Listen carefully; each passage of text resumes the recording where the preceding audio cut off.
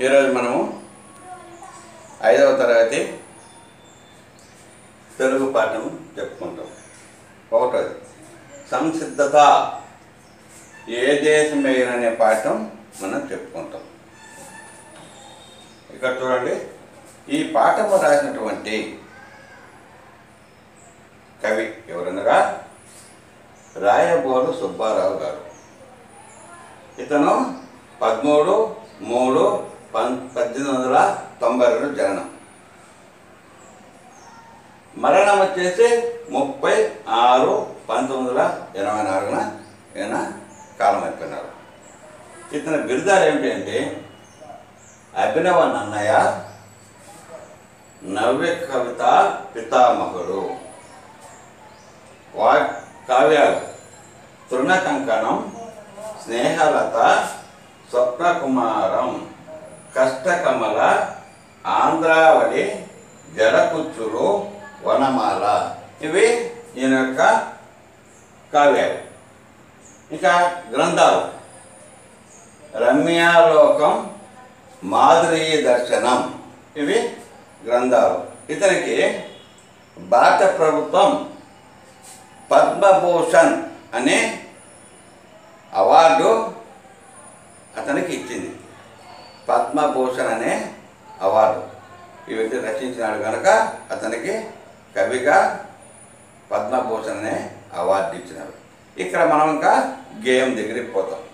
గేయం దగ్గరికి పోయేటప్పుడు చూడండి ఇక్కడ ఒక జెండా ఉంది. ఇద్దరు పెద్దవారు ఉన్నారు పిల్లలు ఉన్నారు పూలు పడుతున్నాయి. పూలు పిల్లల చేతుల్లో ఉన్నాయి ఒక మేడం దగ్గర పూలు కూడా పల్లెంలో ఉన్నాయి ఈ విధంగా వాళ్ళు ఎందుకు చేస్తున్నారు? మనకు పంతొమ్మిది వందల నలభై ఏడవ సంవత్సరం భారతదేశానికి స్వాతంత్రం వచ్చింది. స్వాతంత్రం ఎందు- ఎట్లొచ్చిందంటే బ్రిటిష్ వారు మన భారతదేశాన్ని పరిపాలిస్తూ ఉన్నారు. వాళ్ళను మనవారు అందరూ పెద్ద పెద్ద నాయకులు.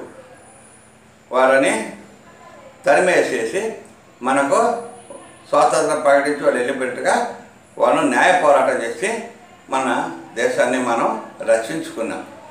అప్పటి నుంచి మన భారతదేశంలో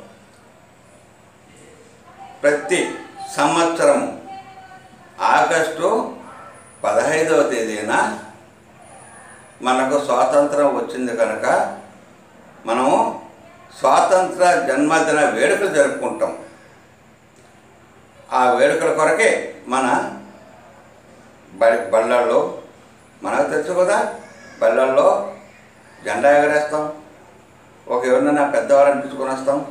జెండా ఎగరేస్తాం పూలు చల్లుతాం జెండా మాతకు నమస్కారం చేస్తాం భూదేవికి నమస్కరిస్తాం. మా బోలో స్వతంత్ర భారత్కి జై అని అంటాం. అందరినీ మనం స్మరించుకుంటాం. మన స్వాతంత్ర తెచ్చిపెట్టిన యోధుల గురించి మన పెద్దవాళ్ళందరూ చెప్తారు. మనం వింటాం.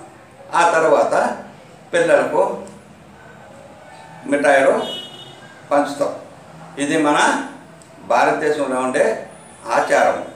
ఈ ఆచారాన్ని మనం స్వతంత్రము ఎప్పుడైతే మనకు వచ్చిందో ఆ రోజు నుంచి మనం అమలు చేసుకుంటున్నాం. ఇకపోతే ఈ యొక్క గేయాన్ని చదువుదాం.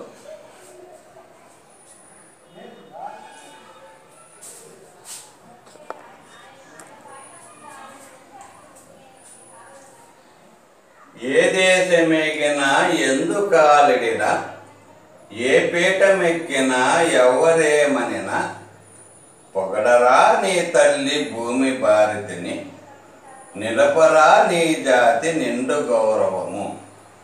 నువ్వు ఏ దేశానికి పోయినా ఎందుకు కాలిడినా ఏ పీఠం ఎక్కినా ఎవరే ఎవరేమనినా నీ దేశాన్ని నువ్వు పొగుడు అంటారు.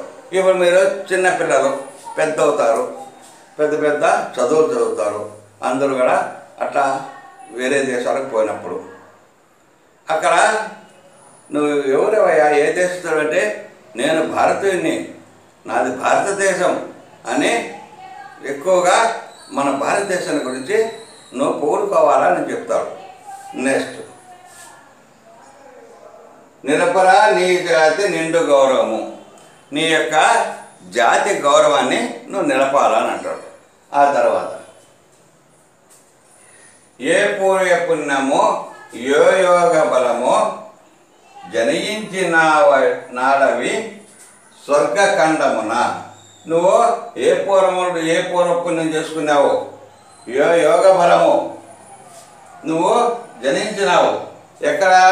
ఈ స్వర్గ ఖండమున జన్మించింది ఈ స్వర్గ ఖండము అఖండ భారతదేశం ఆసియా ఖండం ఇక్కడ నువ్వు జన్మించినావయా నువ్వు ఇన్ని జన్మల పుణ్యం చేసుకొని నువ్వు భారతదేశంలో పుట్టావు అని చెప్పడం అనమాట ఇంకా ఏ మంచి పువ్వులను ప్రేమించినావో నిన్ను మోచి ఈ తల్లి కనక గర్భమున.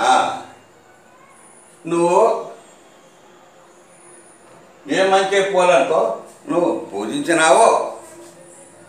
నిన్ను మోసిందయ్యా నిన్ను మోసింది ఈ తల్లి కనక గర్భమున. నీ యొక్క ఆమెక బంగారు కడుపున నిన్ను మోసింది. అందువల్ల ఈ యొక్క గేమ్ సారాంశము ఇది. ఇప్పుడు మళ్ళీ నేను ఒకసారి చదువుతాను. వినండి. ఏ దేశమెగినా ఎందుకాలిడనా ఏ పీఠమెక్కినా ఎవ్వరేమనినా పొగడరా నీ తల్లి భూమి భారతిని నిలపరా నీ జాతి నిండు గౌరవము. ఏ పూర్వ పుణ్యము ఏ యోగ బలము జనయించినారవి స్వర్గఖండమున ఏ మంచి పువ్వులను ప్రేమించినావో నిన్ను మోసే తల్లి కనక గర్భమున. ఈ యొక్క గేము మీకు అర్థమయ్యే సారాంతం చెప్పినాను.